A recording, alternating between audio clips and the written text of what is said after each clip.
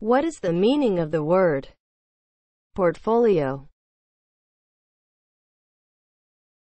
As a noun, a large flat thin case for carrying loose papers or drawings or maps.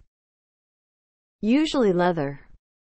A set of pieces of creative work collected to be shown to potential customers or employers.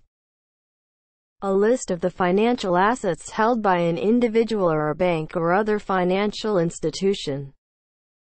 The role of the head of the government department. Examples of use.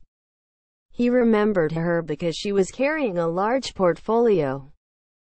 The artist had put together a portfolio of his work. Every actor has a portfolio of photographs.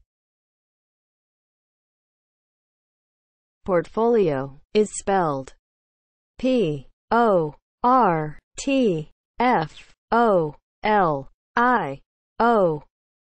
Portfolio